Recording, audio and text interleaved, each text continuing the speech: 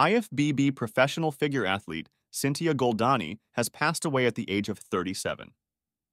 According to reports, the cause of death was related to complications from pneumonia.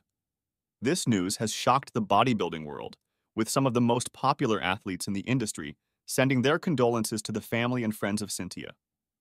There are many athletes concerned with the high rate of deaths, especially younger athletes, in the industry in the last few years.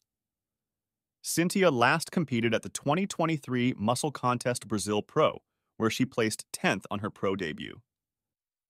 We at evolutionofbodybuilding.net send our deepest condolences to the family and friends of Cíntia Goldani during this difficult time.